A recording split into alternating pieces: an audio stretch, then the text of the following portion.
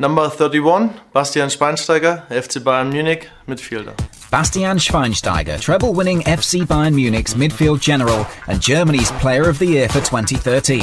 On top of all that, he's put away some great goals for the record champs as well.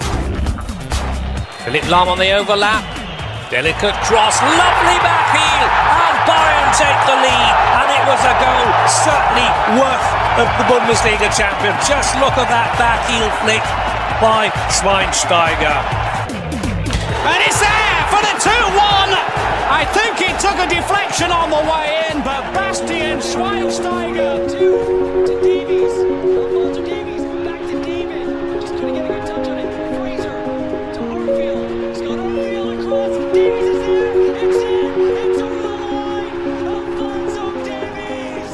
Mchezo wa mpira wa miguu ni ajira ya muda mfupi sana. Wastani ni miaka kumi hadi kumi na tano ambayo mchezaji huweza kudumu kwenye soka la ushindani akiwa na nguvu ile ile. Mfano, mchezaji akianza soka la ushindani akiwa na miaka ishirini, basi atakapofika umri wa miaka thelathini, thamani yake itakuwa imepungua kwa kiasi kikubwa. Katika hali ya kawaida, mchezaji huyu huonekana tayari nguvu zake zimepungua, na hata aina mkataba atakaopewa utakuwa ni wa muda mfupi sana, kati ya mwaka mmoja au miwili pekee. Wapo wachezaji wachache ambao kwangu naona wana kitu cha ziada ndani yao, kiasi hata wakiwa na miaka 30 na kuendelea, thamani yao itabaki pale pale au kupanda maradufu. Cristiano Ronaldo ana miaka 34 lakini ana thamani kubwa kuwazidi vijana wengi wenye wastani wa miaka 20.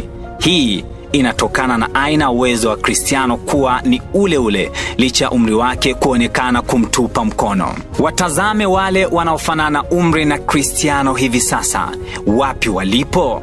Katika umri ya miaka 32 tayari Wayne Rooney alishashindwa kuwepo kwenye soka la ushindani na kutimkia zake kwenye ligi ya MSL kule Marekani. Ni katika umri huo huo wa miaka 32 Cristiano aliendelea kujikusanyia tuzo lukuki na kutajwa kama mchezaji bora duniani. Hii ndiyo tofauti iliyopo. Ukiacha nafasi ya golikipa, sehemu ambayo mchezaji huweza kudumu hata akiwa na miaka 38, tena kwenye ubora mkubwa, nafasi zingine uwanjani ni ngumu kumkuta mchezaji akiwa kwenye kilele cha ubora wake.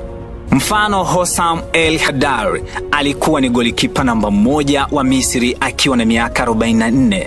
Sio rahisi kumkuta mchezaji wa nafasi tofauti na hiyo akiwa bado ana uwezo wa kucheza kwa dakika zote 90 kwa ubora wa hali ya juu. Bastian Schweinsteiger, kiungo wa zamani wa Bayern Munich na timu ya taifa ya Ujerumani, ametangaza kustaafu kucheza soka. Ni habari iliyogonga vichwa vya habari za michezo kote duniani. Katika umri wa miaka 35 anaamini hawezi tena kukimbia na kuminyana na vijana wadogo kiasi cha kunyosha mikono juu na kuzitundika njumu zake juu ya msumali.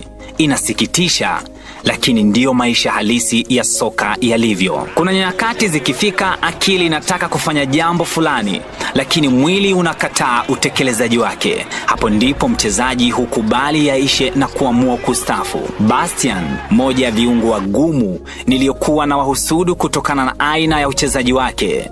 Kaka yangu Baraka Mpenja hupenda kuwaita viungo punda. Mikimbio yake ndani ya uwanja, namna anavyowalinda mabeki wake kwa ubora mkubwa. Hakika Bastian alikuwa ni kiungo mgumu aliyowapa nyakati ngumu wachezaji wa timu pinzani. Pia alikuwa na sifa ya kupiga mashuti kwa umbali mrefu na kufunga. Kwa bahati mbaya, dunia ya viungo wagumu inazidi kutuacha.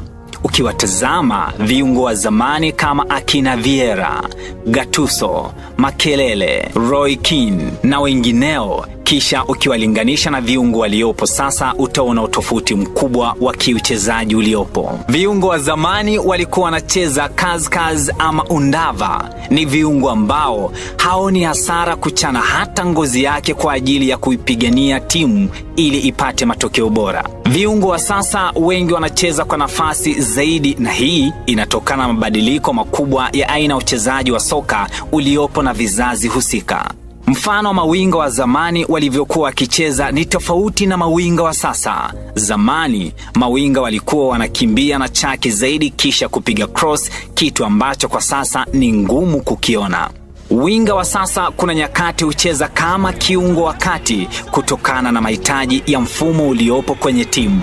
Kitu hiki pia kinatokea kwa viungo wakabaji waliotamalaki duniani hivi sasa. Ni viungo wachache sana huweza kucheza soka la undava kama zamani. Mabadiliko ya uchezaji kwa asilimia kubwa yamewafanya wawe hivyo. Bastian kiungo mwingine mgumu ambaye amenyosha mikono juu na kuamua kustaafu soka. Kiungo mgumu mwingine anayeacha dunia ya soka kiuchezaji. Ni uwepo wa mikanda video pekee itakuwa na msaada kwetu kutuonyesha ubora wake uliokuwa nao katika kila iitwayo leo.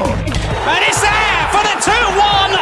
I think he took a deflection on the way in, but Bastian Schweinsteiger Pumzika Bastian, taratibu. Dunia ya viungo wagumu inazidi kutuacha. Mwandaaji ni Sportsman Stanislaus Chacha, mimi ni Super Sub Mavala.